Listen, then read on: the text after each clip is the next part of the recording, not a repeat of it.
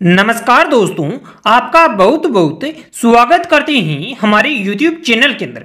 दोस्ती, हम हमेशा से ही पिन कोड नंबर से जुड़ी जानकारी आपके लिए लेकर आते रहते हैं।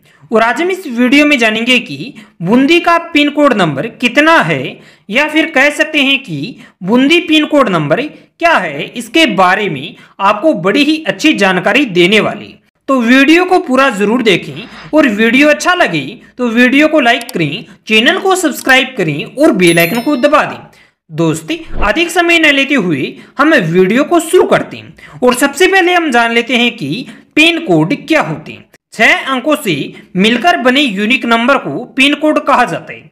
पिन कोड का पूरा नाम पोस्टल इंडेक्स नंबर होता है। आपको बता दें कि इसका उपयोग इंडियन पोस्ट ऑफ़िस को ढूँढने के लिए किया जाता है और अलग अलग स्थान के लिए पिन कोड जो होते हैं, वे एक दूसरे से अलग अलग होते हैं।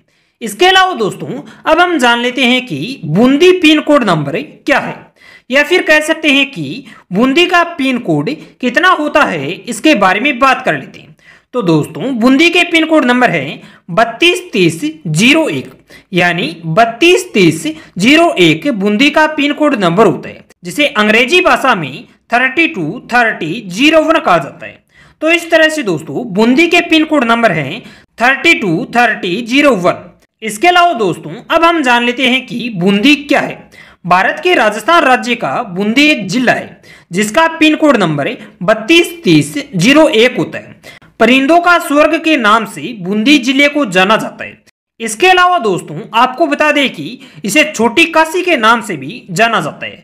बूंदी में अधिकतर हिंदी, राजस्थानी भाषा बोली जाती है। तो इस तरह से दोस्तों, बूंदी होती है। इसके अलावा दोस्तों, एक बार फिर से हम जान लेते हैं कि बूंदी पिन कोड नंबर क्या है।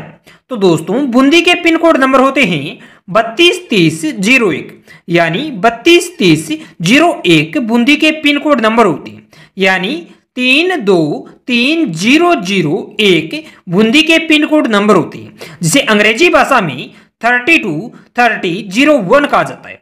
यानी बूंदी के पिन कोड नंबर है थ्री टू थ्री शून्य शून्य वन बूंदी के पिन कोड नंबर होती। है आशा करते हैं कि दोस्तों, आपको वीडियो पसंद आया होगा। अगर आपको वीडियो अच्छा लगा तो वीडियो को लाइक करें, चैनल को सब्सक्राइब करें और बेलाइकन को दबा दें।